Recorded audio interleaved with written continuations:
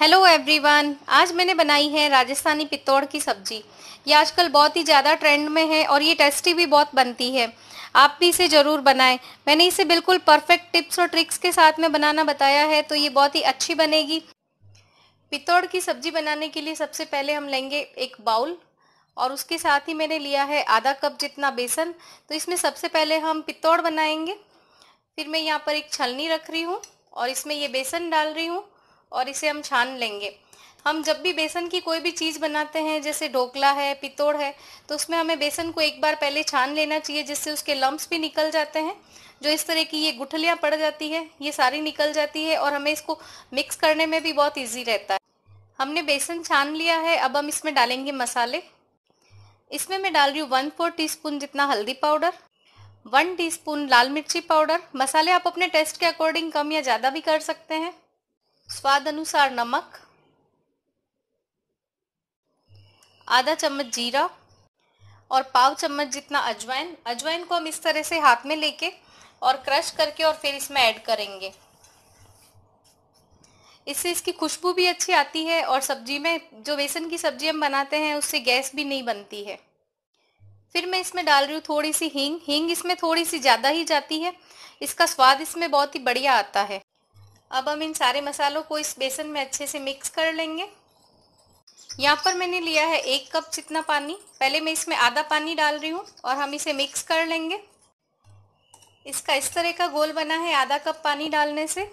अब मैं इसमें डाल रही हूँ और आधा कप पानी। मैंने ये मेज़र कप से लिया है। आप घर की कोई भी कटोरी से नाप से ले सकते हैं। कोई भी कटोरी या प्याला, जो भी हमारे घर में इजीली मिल जाता है। अब हम इसे मिक्स कर लेंगे। इस तरह से करने से इसमें एक तो गुठलियाँ नहीं पड़ती है और बहुत ही अच्छे से ये मिक्स हो जाता है। कई बार हम सारा पानी एक साथ में डाल देते हैं तो इसमें गुठलियाँ पड़ जाती है। ये बिल्कुल बढ़िया मिक्स हो गया है। अब हम इसमें डालेंगे पाव कप जितना और पानी। अब मैं इसमें डाल रही हूँ पाव कप और पानी। ये इसका परफेक्ट रेशो है, आधा कप बेसन के साथ में हम इसमें सवा कप जितना पानी डालेंगे। ना इससे ज़्यादा डालना है, ना इससे कम डालना है, क्योंकि इसे हम बीच में पानी नहीं डाल सकते, पकाते हुए उसमें गांठें बन जाती है। तो इसीलिए इसमें पानी का रेशो परफेक्ट होगा तो हमारे पितोड़ एकदम बराबर बनेंगे। यहाँ पर मैंने ली है एक कढ़ाई, इसमें हमें घी तेल कुछ नहीं डालना है, बस हमें इसे सिर्फ़ दो बूंद घी या तेल जो भी आप ले रहे हैं, उससे इसे हल्का सा चिकना करना है, जिससे ये इसमें चिपके नहीं। बस इतना ही हमें इसे चिकना करना है। फिर इसमें हम डाल देंगे ये गोल जो हमने बना के रखा है। इसे हमें पूरा अच्छे से हिलाते हुए इसमें डालना है।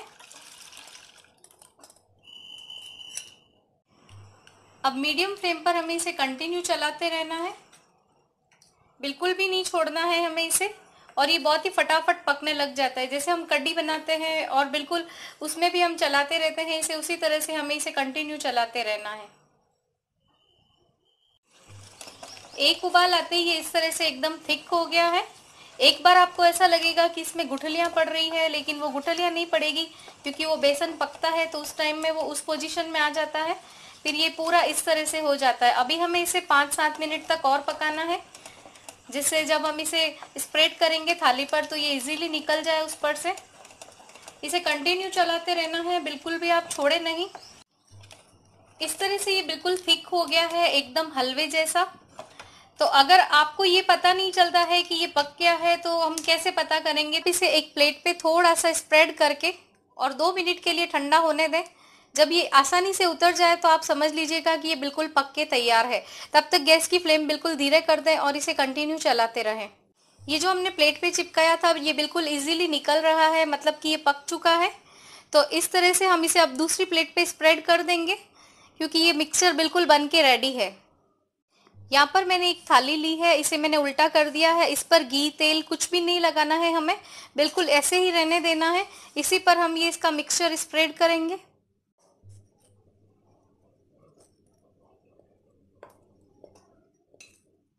अब हम एक स्पेचुला से इसे इस पर फैला लेंगे इस तरह से।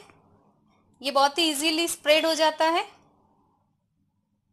इस तरह से आप इसे पूरा स्प्रेड करके और इसे रख दे ठंडा होने के लिए आप इसे थोड़ा जल्दी जल्दी स्प्रेड करें, नहीं तो ये बहुत ही जल्दी जमने लग जाता है।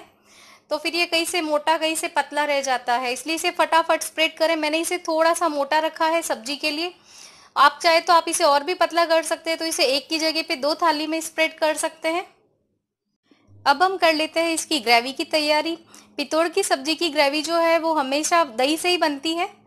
इसकी ग्रेवी कभी भी टमाटर, प्याज वाली नहीं बनती है। गट्टे की पितोड़ की।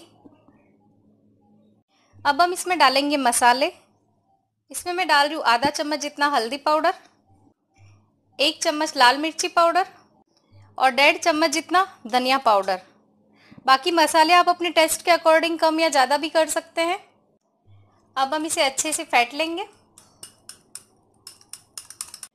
इस सब्ज़ी में आप एकदम ताज़ा दही नहीं लें, जो हल्का सा खट्टा हो, एक दिन पुराना।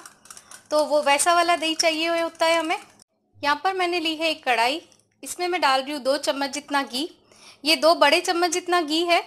इन सब्जियों में घी थोड़ा ज़्यादा लगता है। मैंने इसे घी में बनाया है। आप इसे तेल में बना सकते हैं या आधा घी या आधा तेल भी डाल सकते हैं।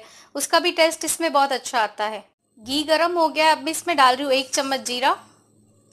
फिर मैं इसमें डाल रही हूँ वन फोर टी जितनी हींग। हींग इसमें थोड़ी सी ज़्यादा ही जाती है। फिर मैं इसमें डाल रही हूँ हरी मिर्ची और अदरक की पेस्ट। इसे मैंने दरदरा ही कूटा है। आप चाहे तो इसे काट के भी डाल सकते हैं। अब मैं इसमें डाल रही हूँ दही।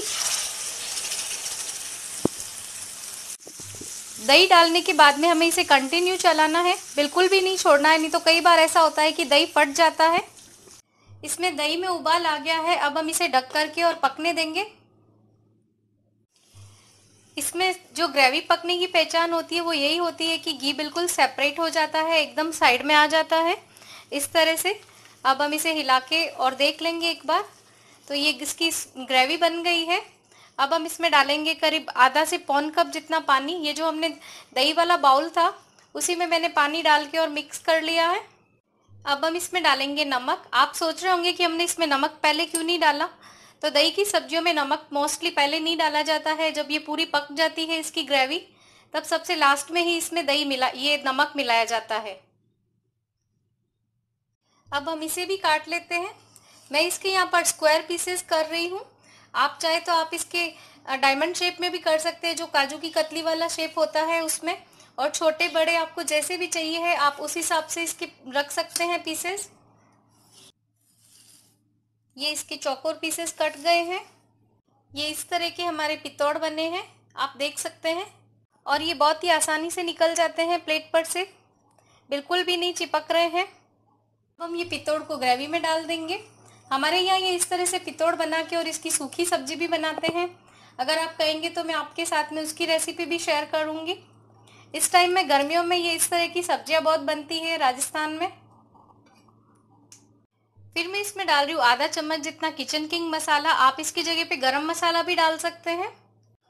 ये मेरा होममेड किचन किंग मसाला है। मैंने इसका वीडियो भी आपके साथ में शेयर किया हुआ है। मैं उसका लिंक नीचे दे दूँगी इसके डिस्क्रिप्शन बॉक्स में।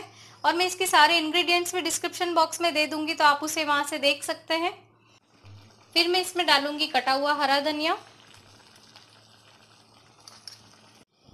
ये हमारी पितौड़ की सब्ज़ी बिल्कुल बन के तैयार है। आप इसे रोटी, पराठा, पूरी या चावल के साथ भी सर्व कर सकते हैं। बहुत ही टेस्टी बनती है।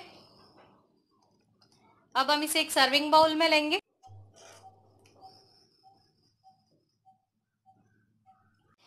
ये हमारी राजस्थानी पितौड़ की सब्ज़ी बिल्कुल बन के तैयार है। आप देख सकते हैं देखने में ही कितनी टेम्पटिंग सी लग रही है। इसे देखते ही खाने का मन करता है जैसी। तो आप इसे बनाने के लिए थोड़ी सी टिप्स और ट्रिक्स का ध्यान रखेंगे तो आपके पितौड़ हमेशा बहुत ही अच्छे बनेंगे। बस एक तो आपको पितौड़ बनाते टाइम इसके मेज़रमेंट का ध्यान रखना है कि बेसन में आपको कितना पानी डालना है और दही को कंटिन्यू चलाते रहें जिससे इसकी ग्रेवी बहुत ही अच्छे से बने। तो आप भी इसे ज़रूर बनाएँ और मुझे कमेंट सेक्शन में बताएँ कि आपको ये कैसी लगी है। अगर आपको मेरा ये वीडियो अच्छा लगे तो इसे लाइक करें फैमिली और फ्रेंड्स में शेयर करें, मेरे चैनल को सब्सक्राइब करें और बेल आइकन ज़रूर प्रेस करें। जिससे आपको मेरे अगले वीडियो की नोटिफिकेशन मिल सके। तो फिर मिलते हैं एक नई रेसिपी के साथ। Thank you so much